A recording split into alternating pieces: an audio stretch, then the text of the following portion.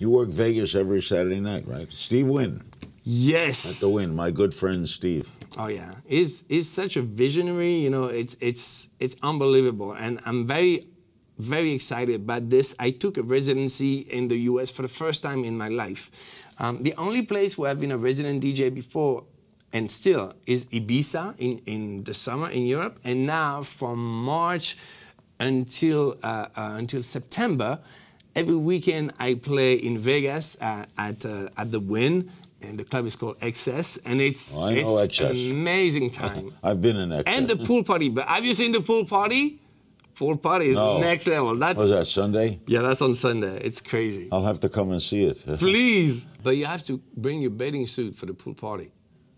Okay. That's going to be fun. I'll be the oldest guy at the pool. Watch new episodes of Larry King Now Monday, Wednesday, and Friday on demand on Ora TV and Hulu.